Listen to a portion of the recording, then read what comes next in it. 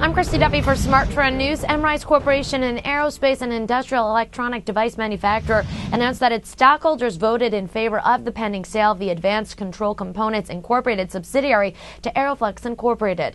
Emrise Chairman and Chief Executive Officer Carmine Oliva said, quote, with the approval of the sale of ACC to Aeroflex, we reached another critical milestone in our strategy to pay off all but a small portion of our total outstanding debt to our principal lender and to the former shareholders of ACC. Assuming the transactions to sell ACC and pay down of the debt close as expected, we will immediately begin to execute our previously announced strategy to grow the company organically and to facilitate possible strategic transactions, which we believe will add value for our stockholders.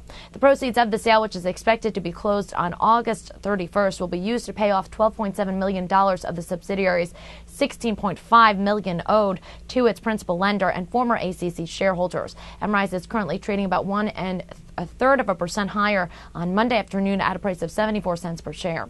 I'm Christy Duffy for Smart Trend News. For more news and market analysis, make sure to subscribe to our YouTube channel. That's Trade the Trend. Also visit our website, tradethetrend.com, for more on our Smart Trend alert system. Trade the Trend with a free 14 day trial from Smart Trend, the equity trend alert system that helps you discover the right stocks at the right time. Visit tradethetrend.com slash TV to sign up now.